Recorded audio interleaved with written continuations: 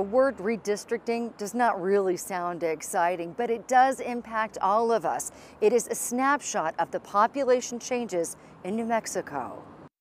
Chances are you filled out a census and the results are coming in. So far, they show cities like Farmington are shrinking. Rio Rancho, though, is not. There's some um, anticipation that Rio Rancho will now be designated as the second largest city in the state. And right now, it looks like cities in the southeast, like Hobbs, Roswell, and Alamogordo, are growing too. I suspect that a lot of it is, you know, the oil and gas production increases and the need for additional workers. Here, though, is a big shocker. The state's overall population only grew by 2.8% in the last decade. That is way, way down compared to years past. In the 1990s, there was a 20% growth.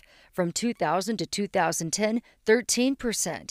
Now, though, this last decade, we're not even close to that. There's a lot of concern about our younger population moving out of New Mexico for job opportunities. Yeah, it's uh, something that really needs to be addressed.